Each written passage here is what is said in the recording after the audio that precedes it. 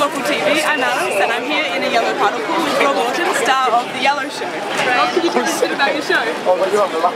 Yeah, it's a show about the colour yellow, and it lasts for an hour, and uh, it involves things such as uh, rubber ducks, and car sponges, and uh, a paddling pool and uh, washing up bowl and a lot of other things at yellow as well and it was inspired by I've always loved the colour yellow but when I bought this coat it makes me feel ever so slightly happier every time I wear it so I thought I'd do a show about the colour yellow and see how happy I can get. And could you tell us, do you have a first yellow memory? Well, I do.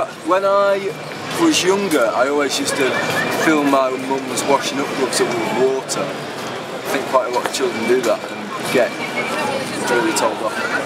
So that that's my first yellow memory, I would say, filming those, and because they look a bit like udders, so I used to really like it and do it all the time. You put them in the freezer? No, did you? Yeah, you freeze them and then you get these like Well, that's it. No, I didn't.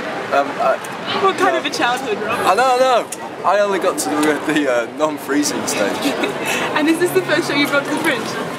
It's my first solo show, yeah. I've done uh, a few other shows where I've been part of other stuff, like three-man shows, which have been good, um, but I think I'm enjoying this one more, just because I quite like it because I, it, it gets to get to find, just trying to find my audience really.